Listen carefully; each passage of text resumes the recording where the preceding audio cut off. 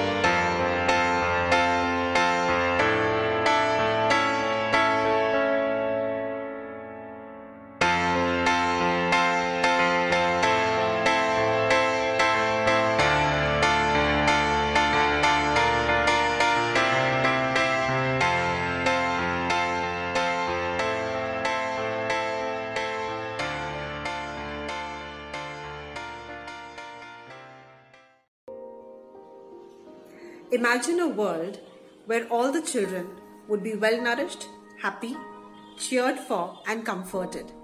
Would be lovely, isn't it? Hello, everyone. I take great pride in introducing Mrs. Edwina Pereira, who has focused on child safety and well being, gender equality, and HIV for over three decades. Mrs. Pereira's wholeheartedness and commitment towards the well being of children drove her to work for, ch- uh, for children health protection and development in several villages across India and its neighboring countries. Mrs. Edwina Pereira has now retired as the executive director of Child First Foundation, a non-profit organization based in Bangalore. She now enjoys being a loving grandmother. She truly is an empowered woman and only empowered women can empower other women. Hi, students of Sacred Hearts Girls High School. Congratulations! Y'all are celebrating the International Day of the Girl Child. We girls have always been told from the time we were small that we need to look good, we need to, uh, we need to keep quiet, we need to uh, listen to others. Uh, good girls just listen. Good girls do not climb trees. Good girls do not scream or laugh loud. Hmm?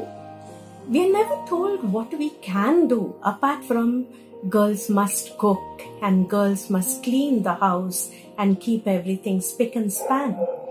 Today, with International Day of the Girl Child, I'd like to tell you all a story of a donkey. Now, this donkey was a faithful worker to the farmer, and one day when the donkey was singing and going around, the donkey fell into a well. And when the donkey fell into the well, the donkey decided, I am not going to be a good girl and keep quiet but I am going to be screaming. And so the donkey started screaming.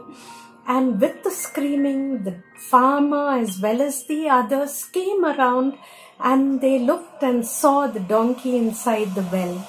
But then the donkey was old, so the farmer told his friends, Come, there's this mud. Let's just take this mud and cover the donkey up. bury that donkey so that uh, anyway the donkey can die. So the farmer and his friends started taking the mud and they started putting it into the well. Now this poor donkey kept thinking, I worked so hard for the farmer and look at this ungrateful farmer. He's not saving me, but he's killing me.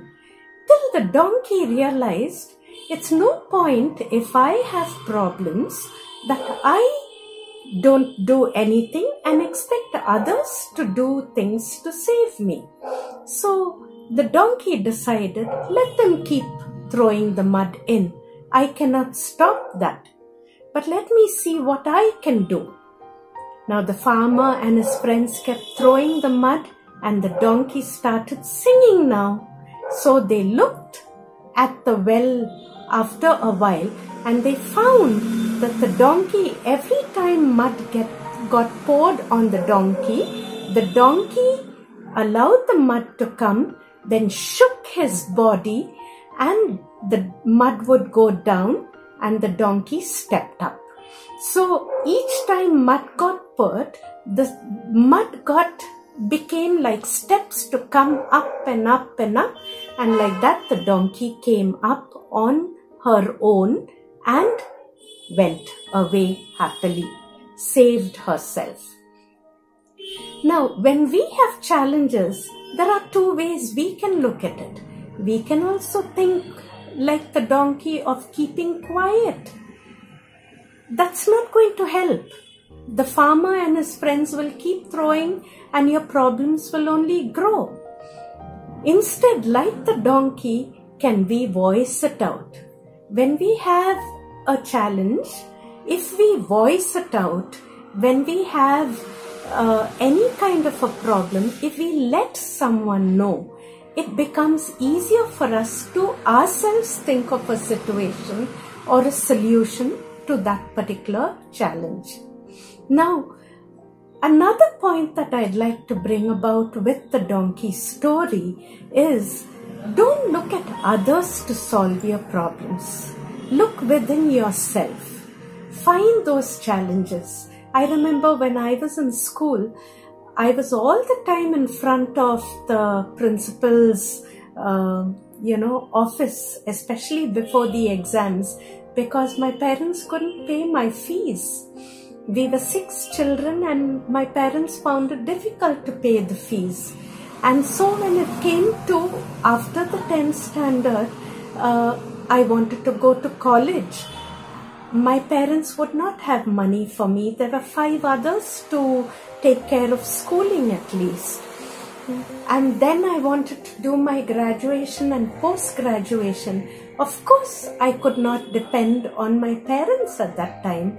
There were so many others in my family that needed to uh, come up. And to make things worse, in 10th standard, I failed in Hindi in my ICSE. I got high marks but failed in Hindi. So colleges would not take me. So it was only Bishop Cotton's uh, school that had the 11th and 12th ISC science and I got in there. But I had to voice out my challenge. I had to, I, I mean, there were two ways I could deal with it. I could either think, uh, oh, how can I share that we are so poor, we cannot afford. No, it's, it'll bring shame to my family. Or I could think, let me share that I can't and ask for a scholarship. So I decided to ask for the scholarship right from 11th and 12th for my graduation and post graduation and that's what made me uh, you know complete my studies with a distinction and got me this wonderful job that took me to different places to do training in. So when we have challenges voice it out. Don't keep it hidden. Voice it out. My principals understood. And when I went into college, a central government scholarship was available.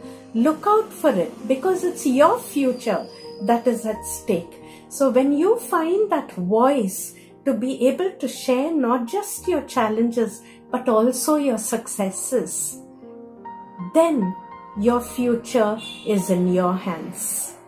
So all the best girls, voice out and all the best for your future.